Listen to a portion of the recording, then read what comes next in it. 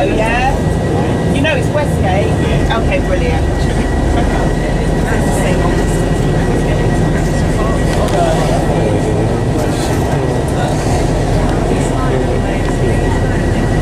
I suppose it's different when you're in a big bus. You got Yeah. you can't go down them. It's filled a coach, you see. I was there. no, really, it was under street. Right down the road. Sit next to this guy.